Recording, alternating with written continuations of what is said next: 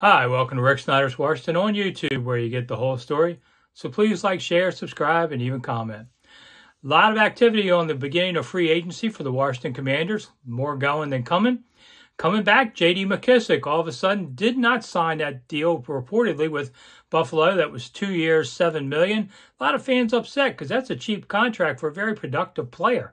I guess J.D. changed his mind, decided to stay in Washington, or maybe Washington reached out. Because any deal that started earlier this week is not official until Wednesday, and you have to sign it too. So I guess JD changed his mind, and that's the Commanders' gain there. Also, Cam Sims is reportedly resigning.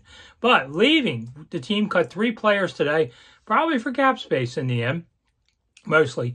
Uh, Matt Ioannidis, defensive lineman, was released. That was a surprise uh, because Tim Settle had just left uh, a few days ago as a free agent.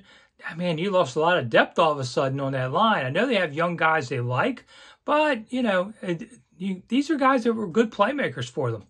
Little surprise there. Also, Ereck Flowers did, uh, was released. They tried to renegotiate his $10 million deal this year.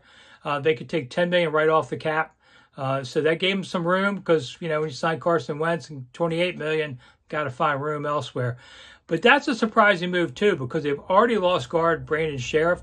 Now you've lost your other guard two new guards on this line. I mean, it wasn't a bad line last year overall. They got a lot of grief, but I don't think they were that. Who are you going to get? So, woo, I think they've, they've got some problems there they got to figure out. So both lines suddenly look weaker. And a special teamer, Deshazor Everett, was released. He was involved in a fatal accident at the end of the season.